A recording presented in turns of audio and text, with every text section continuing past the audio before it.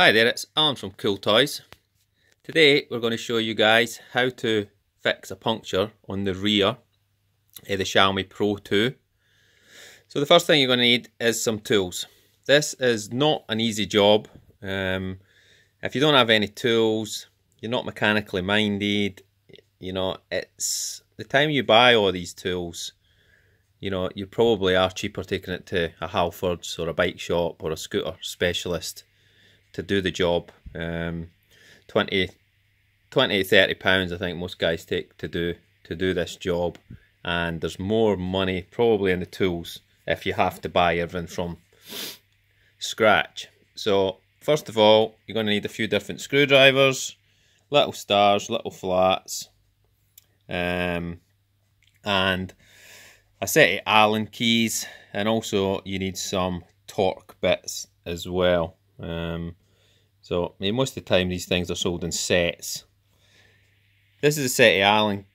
Uh, this is a set of tyre levers I bought, which were sort of marketed for scooters and, and bikes. And they're maybe a wee bit too big, at maybe 12 inches. But certainly a bit more length and leverage will help when it comes to actually taking the tyre off the rim because that's the tricky bit. So for today, I'm just going to show you how to take this apart um, and then on video two, I'm going to show you how to actually get the rim off and fix or change the tube. Um, so let's get straight into it. We've done this all. We've done part of this already because um, there's no point us showing you how to take a screw out. So first things first is start with taking these little grommets out. Now these are just rubber, but there is two types. So then you mix them up. Two at the back and one at the front. Always a good idea to have a little tub. There's quite a lot of screws to come out here. When they're in the tub, they're safe. So, safe. Right, so we have got two different screws. So we've got the silver one at the front, which is an Allen key, and then the two at the back are Torx. So you do need the little Torx bit for the black ones. Don't jam an Allen key in, because if you round these screws, then you're in a world of extra pain. So that's the first job. The second job is to take off this cover. Now, for the benefit of you guys, I can show you how it actually comes off. So it sits on here, and there's two locators that locate into these two holes. First and foremost, you have to get the reflector off.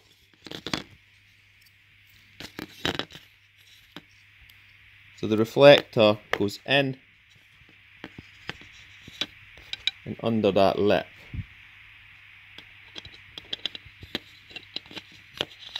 So you have to lever it from the right hand side. So lever it from the right hand side. Now I'll just show you this.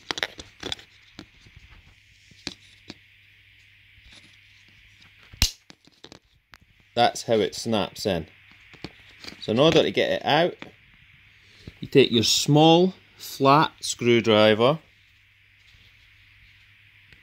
in that side and lever it and then it comes out. Once you've got that out, you've got two of them to remove. So the two middles are the locators and the two other ones, the two cap screws removed next. Now that gives you access to the nuts. So the big Allen key is to take the wheel off. The two silver stars are to take the, the axle bracket off which sits on the inside. that black bit here. You don't have to take that off. You now have to take off this little star.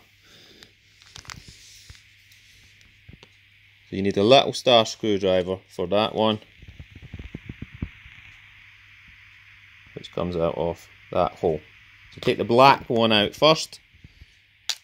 Put it safe in the box. That is effectively the mudguard retaining screw, the axle bolt, and the axle um, plate, the, the inner plate. So you don't have to take that inner plate off. So like once we've got these off and that off, we can take the mudguard off. Now most importantly, inside here, you can see that connector. That connector is for your brake light or your smashed brake light on this on this one. So you can pull this back and lift it a little bit until you've taken that connector out.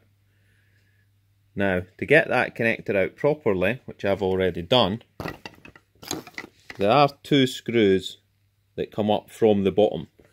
So for that job, I have got an Allen key, a long reach one. So that's coming up from the bottom and taking these two screws out.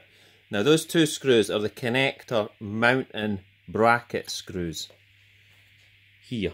Now if you want the mudguard right off, you need to take them off and then you need to take the connector off. The connector squeezes um, and comes out and it's actually a really nice connector because it's a really deep connector. That's going to stop the, any chances of the water getting in there. Um, you can get the wheel off by not removing those two screws and that connector just by taking the two back ones out and sort of having it sitting like that. You can do that. But let's just get it off, get it out of the way. So, now we've taken off the reflector the reflector cover, the three mounting screws, the screw to hold the mudguard supporting brackets, and then we just have to take off the wheel. Now make sure that you've got the right Allen key on this, you do not want to round this up.